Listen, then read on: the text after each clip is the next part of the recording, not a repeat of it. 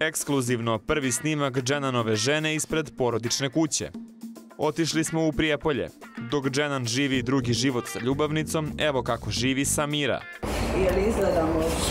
Jedan brak se raspada, ali za drugi ima nade. Jelisaveta Rašanin bodri svog supruga iz prvih redova na utakmici. Gledajte scenu večeras od 19.40 samo na Blitz televiziji.